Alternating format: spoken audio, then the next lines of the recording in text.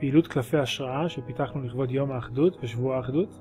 פעילות הועברה ברחבי העולם.